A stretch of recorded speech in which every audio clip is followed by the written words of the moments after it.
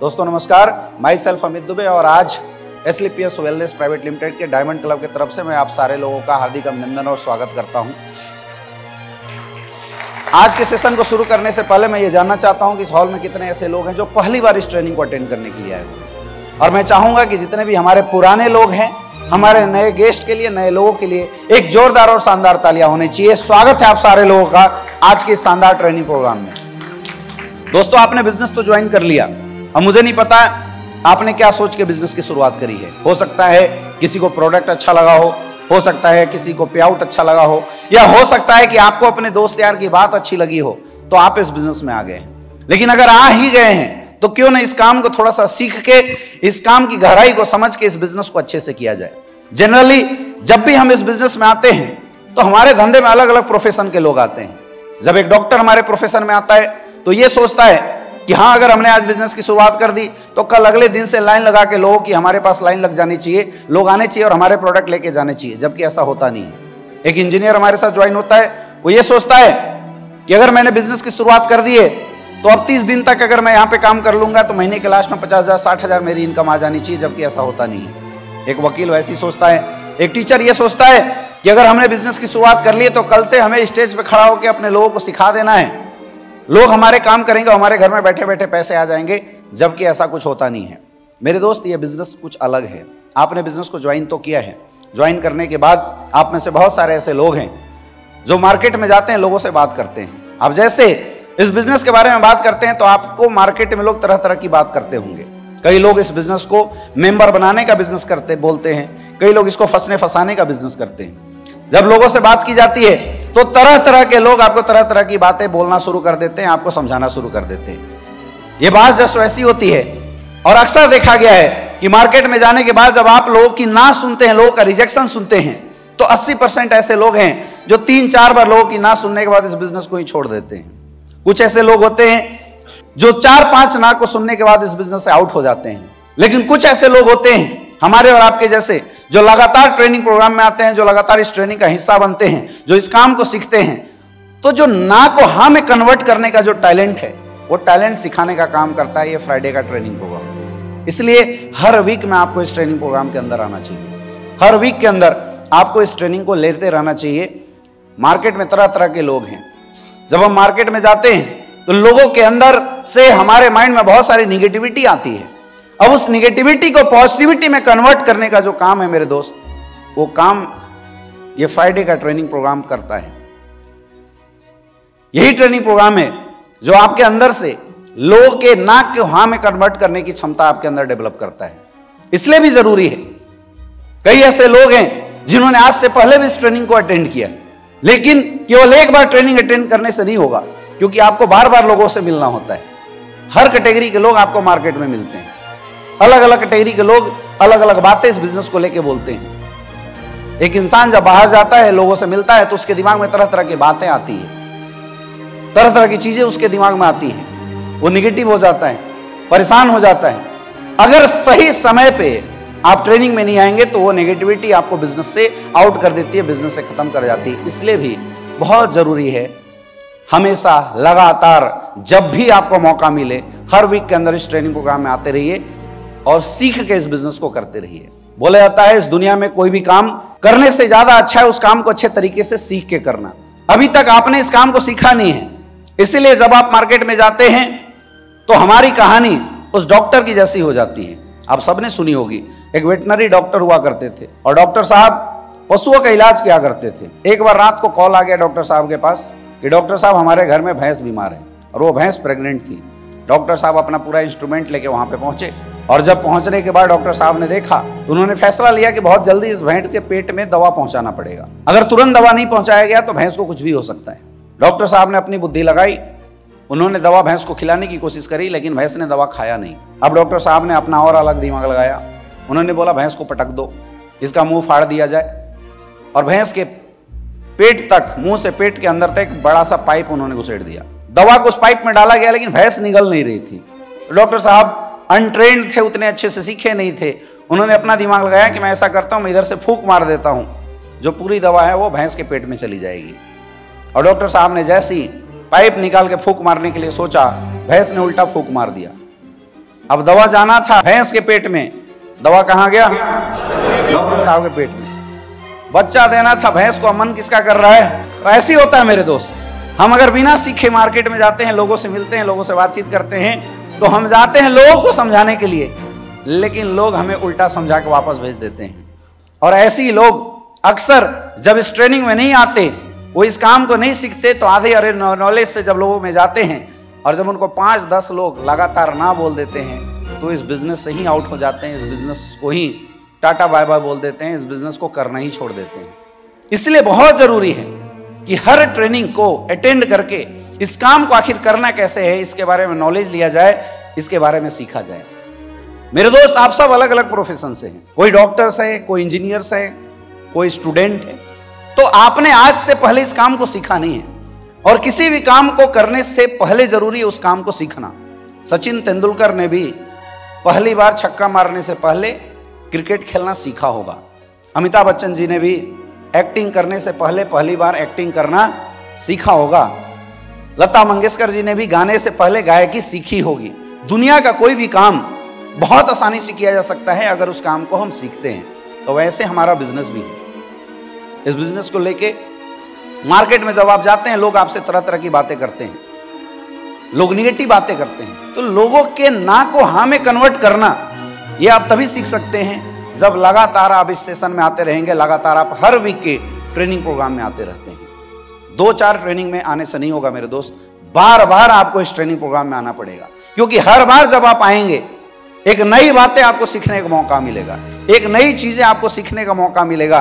और लगातार आपके दिमाग में जो इस बिज़नेस रिलेटेड डाउट्स होते हैं, जो क्वेश्चंस होते हैं, जो समस्याएँ होती हैं, इस ट्रेनिंग के माध्यम से आपकी धीरे धीरे खत्म होती चली जाएगी और आपको पता ही नहीं चलेगा कि कब आप वहाँ से निकल के स्टेज पर लाके लोगों को ट्रेनिंग करने लगेंगे। इसलिए ज़रूरी है, हर वीक में इस ट्रेनिंग प्रोग्राम को अटेंड करना। मेरे दोस्त, जब मार्केट में आप जाते हैं, इस इंडस्ट्री के बारे में बात करते हैं तो लोग आपसे इस इंडस्ट्री के बारे में उल्टी बातें करते हैं। कोई बोलता है मेंबर बनाने का बिज़नेस है, कोई बोलता है ये फंसने फंसाने का बिज़नेस है, कोई बोलता है पैसे लगाने का बिज़नेस है, लोगों को जोड़ने तोड़ने का बिज़नेस है। तो सबसे पहले तो हमें यह समझना पड़ेगा कि आखिर जिस इंडस्ट्री में हम काम करते हैं, आखिर ये इंडस्ट्री है क्या चीज़? क्या काम है इस इंडस्ट्री का? आखिर इस इंडस्ट्री में क्या करना होता है? पहले इस इंडस्ट्री को समझना पड़ेगा। मेरे दोस्त, जिस इंडस्ट्री में हम लोग काम करते हैं, उस इंडस्ट्री का नाम है डायरेक्ट सेलिंग इंडस्ट्री ये एक बना बनाया बिज़नेस कॉन्सेप्ट है और ये सेम वैसी है जैसे आज मार्केट में आप एक ट्रेडिशनल बिज़नेस करते हैं. बोला जाता है it is the advance version of sales बेचने का एक एडवांस तरीका है. और ये इंडस्ट्री एक मौका देती है कि अगर आप एक अच्छा प्रोडक्ट मार्केट में बेचते हैं तो आपको एक मौका देती है कि अगर आपने इस प्रोडक्ट को प्रमोट किया तो आपको भी एक अच्छी इनकम आ सकती है. लेकिन सबसे इंपॉर्टेंट यह है कि इस काम को हम करें क्यों? आखिर हमारे जीवन में इस इंडस्ट्री की ज़रूरत क्या है? क्यों करें इस काम को? बोला जाता है किसी भी काम को कैसे करना है, इसको समझने से ज़्यादा इंपॉर्टेंट है, उस आम काम को क्यों करना यह समझना। आज आप जितने भी लोग यहाँ पे बैठे हैं, पैसा कमाना सबकी ज़रूरत है, और पैसा कमाने के लिए आप लोग अपने जीवन में दो काम करते हैं। या तो हम नौकरी करते हैं, या तो हम बिज़नेस करते हैं राइट अब नौकरी के लिए कुछ चीज़ें की ज़रूरत होती है, जैसे आपको अच्छी नौकरी तभी मिलेगी जब आपकी एजुकेशन क्वालिफिकेशन बहुत अच्छी हो, आपके अंदर टैलेंट हो, लेकिन मेरे दोस्त, आज हालात, सिचुएशन और कंडीशन ऐसी बनी हुई है कि आज हर साल एक करोड़ से ज़्यादा लोग मार्केट में ग्रेजुएट होकर आते हैं, लेकिन सरकारी और प्राइवेट दोनों सेक्टर को भी मिला दिया जाए तो मात्र 27 परसेंट की इंप्लॉयमेंट रेशियो यानी हर साल करीब 70 लाख से ज़्यादा लोग बेरोजगार हो रहे हैं। क्यों? वो एजुकेटेड हैं। दे आर ग्रेजुएट क्यों हो रहे हैं? क्योंकि अपॉर्चुनिटी की कमी। आज मौके नहीं है नौकरिया में। तो आज अगर हम ये चाहें कि हम अपने सपनों को नौकरी के माध्यम से पूरा कर सकते हैं तो नहीं हो सकता क्योंकि नौकरी के लिए स्पेशल टैलेंट की ज़रूरत है और सबसे खास टैलेंट होते हुए भी लोग उनकी ज़रूरत के अनुसार नौकरियाँ नहीं मिलती, वो समझौते की ज़िंदगी जीते हैं। तो कुछ लोग बिज़नेस का रास्ता चूज़ करते हैं। लेकिन आज आप देखिए, एक अच्छा बिज़नेस करने के लिए इन्वेस्टमेंट करना पड़ेगा। आप सोच के देखिए, क्या हमारे पास इतने पैसे हैं कि हम इन्वेस्टमेंट करके बहुत बड़ा बिज़नेस खड़ा कर सकें? और अगर गलती से हमने कर भी दिया तो हर इन्वेस्टमेंट में एक रिस्क फैक्टर होता है। अब आप सोचिए, अगर हमने लोन लेके, कर्जे लेके, गहने गिरवी रख के किसी तरीके से अगर बिज़नेस की शुरुआत कर भी दी, किसी कारणवश अगर वो धंधा नहीं चला तो क्या होगा हमारा? ये भी सोचने की ज़रूरत है।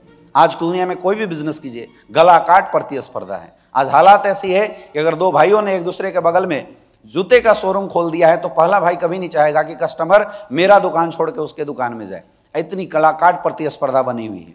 अगर आप कोई नया बिज़नेस शुरू करते हैं तो उस बिज़नेस को चलाने के लिए आपको समय देना पड़ता है।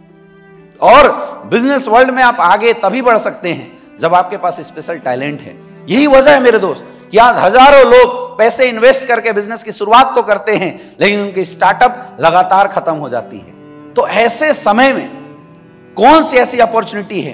कौन सा ऐसा बिज़नेस स्कोप है जो हमारे काम का है? बोला जाता है किसी भी काम को करने से ज़्यादा ज़रूरी है उस काम को सही समय पे करना। आज एक ट्रेंड की बात मैं आपको बताता हूँ।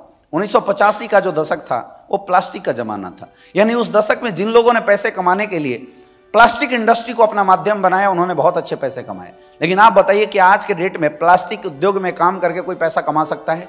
नो no, क्योंकि ट्रेंड जा चुका है। आज गवर्नमेंट की ऐसी रूल रेगुलेशन आई है जहाँ पे प्लास्टिक बैन करने की बात की जा रही है। 1960 के दशक में ऑयल इंडस्ट्री मार्केट के अंदर आई थी। उस समय जिन लोगों ने कुएँ के एक एक एक एक कुएँ के ऊपर अपना एग्रीमेंट किया आज वो लोग करोड़ों अरबों रुपए कमा रहे हैं। अगर आज आप चाहेंगे कि मैं ऑयल इंडस्ट्री में जाके पैसे कमा सकता हूँ क्या आप कमा सकते हैं? नो no, क्योंकि वो समय गुजर चुका है। 1970 के दशक में जब ऑटोमोबाइल इंडस्ट्री आई थी उस दौर में आप बात करते हैं तो मारुति सुजुकी की उस दौर में अगर हम बात करते हैं तो फोर्ड जैसी कंपनियाँ मार्केट के अंदर आई और उन्होंने खूब पैसे कमाए। आज अगर आप चाह के भी ऑटोमोबाइल इंडस्ट्री के अंदर कदम रखते हैं तो पैसा नहीं कमा सकते हैं, क्योंकि ये ट्रेंड जा चुका है। जिनको इस इंडस्ट्री में कब्जा जमाना था, उन्होंने कब्जा जमा लिया है। उन्नीस का दशक कंप्यूटर इंडस्ट्री के अंदर था। और उस दौर में जिन लोगों ने कंप्यूटर इंडस्ट्री के अंदर पैसा लगाया कंप्यूटर इंडस्ट्री में जिन्होंने इन्वेस्ट किया स्टार्टिंग शुरू किया, उन्होंने खूब पैसे कमाए। चाहे आप एप्पल की बात कीजिए, चाहे आप एचपी की बात कीजिए, चाहे आप डेल की बात कीजिए माइक्रोसॉफ्ट की बात कीजिए ये जितने भी लोगों ने अच्छे पैसे कमाए, ये उसी समय जिन लोगों ने काम किए थे, उन्होंने भी ऐसे पैसे कमाए। 1980 के दशक में एक दौर था, आपने देखा होगा, लोग कंप्यूटर इंस्टीट्यूट खोल के भी पैसे कमा लिया करते थे। लोग बड़े बड़े एस टी खोल के, लोग बड़े बड़े कंप्यूटर के छोटे छोटे इंस्टीट्यूट खोल के बीस बीस रुपए पर घंटा तीस तीस रुपए चालीस चालीस रुपए पर घंटे का भी समय लगा के वहाँ से बहुत अच्छे पैसे कमा लेते थे। लेकिन क्या आज संभव है?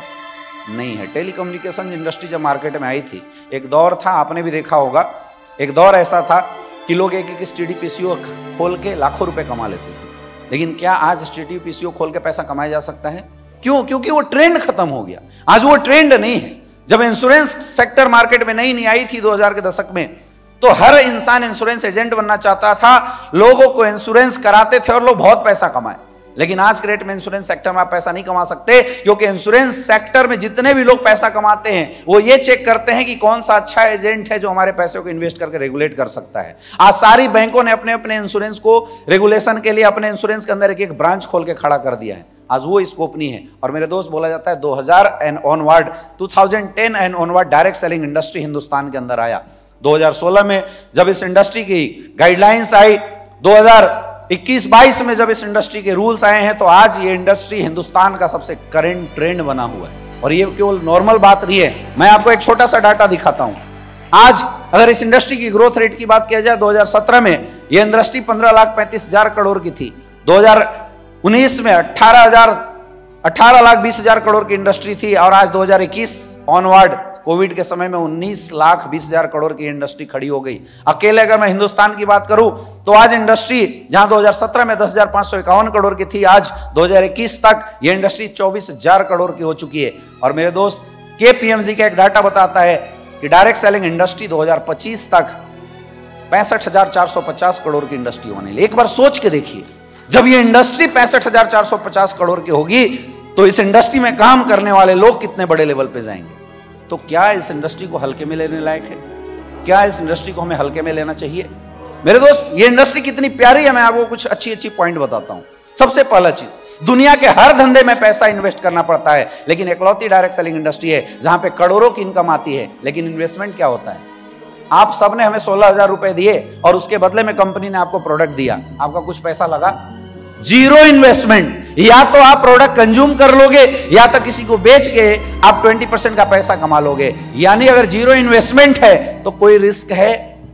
कोई चांसेस है डूबने का? बिल्कुल नहीं। दुनिया में अगर लाख रुपए का बिज़नेस करना है तो पाँच लोगों को आपको अपने अंडर में इंप्लॉय रखना पड़ेगा। और उन इंप्लॉय को पैसा देना पड़ेगा।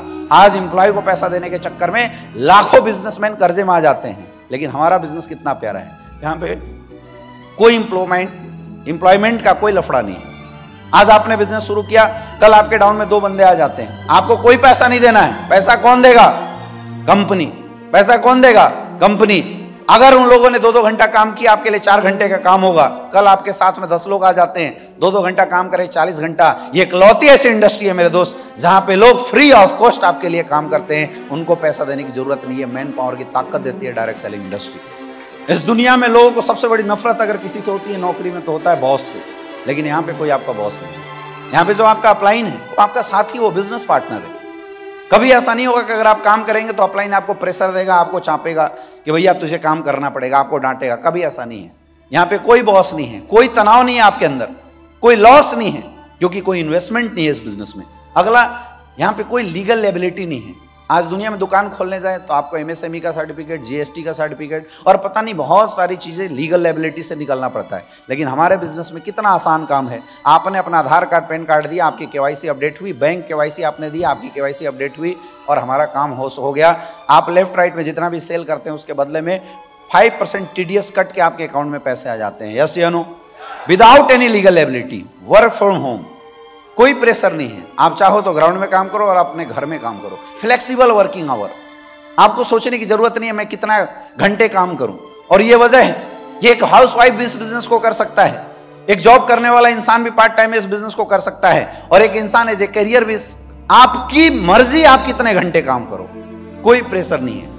फ्लेक्सिबल वर्किंग आवर इस बिज़नेस के अंदर है। टाइम कंपाउंडिंग थ्रू डुप्लीकेशन आप इस बिज़नेस में बोला जाता है, पैसे कमाने का एक ही फॉर्मूला है। Time is directly proportional to money जो इंसान जितना ज़्यादा घंटे काम करेगा, उसके लिए उतना ज़्यादा पैसे आएँगे। लेकिन लोगों का टाइम खरीदने के लिए हमें पैसा खर्च करना पड़ता है। ये कलौती ऐसी इंडस्ट्री है, जहाँ पे विदाउट एनी इन्वेस्टमेंट बिना पैसे खर्च किए आप लोगों का समय खरीद सकते हैं।